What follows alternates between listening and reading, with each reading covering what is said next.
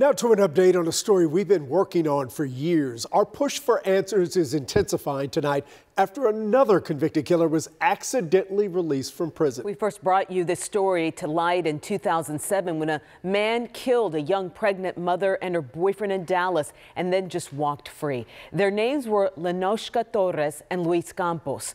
It's been 16 years since their murderer was mistakenly deported and he still hasn't been caught. But we never lost sight of this case and have continued to push for answers. Last year, the Dallas County DA found three other violent men were set free when they should have stayed in jail. Senior crime and justice reporter Rebecca Lopez joins us live now. You've been on this story for years, Rebecca. What went wrong? That's the big question like what in the world has happened here? How can violent offenders just be released and the Texas Department of Corrections and also the Dallas County Sheriff's Department not know that they are not incarcerated for years? The victims' families tell me this is just another injustice done to their loved one.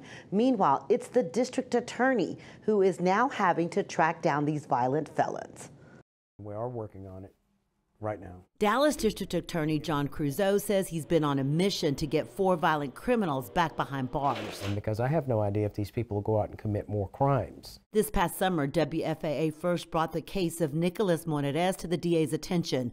Monarez kidnapped, tortured, and murdered Lenoshka Torres and her boyfriend Luis Campos in 2007. In 2021, he was supposed to begin serving a prison sentence for their murders in the Texas Department of Corrections after finishing a separate sentence in a federal narcotics case. Instead of transferring him back to Dallas County, the federal government mistakenly deported him. There was no hold or detainer of any kind on these people.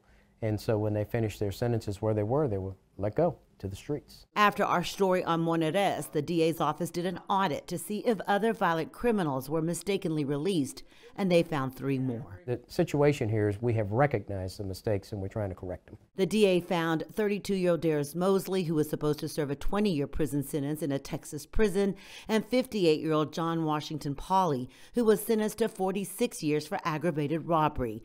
They were released from federal prison instead of properly being transferred back to Dallas County. Both have been out for nearly a decade. These people owe us the time, and when you do 46 years, that's 23 calendar before you can be eligible for parole. Mosley and Pauley are both back behind bars, but Monarez and another inmate whose name has not been released are still out, and the DA is searching for answers on how this happened. Creuzot also believes there may be other cases across the state and is working with TDCJ to fix the problem. In Dallas, I'm Rebecca Lopez.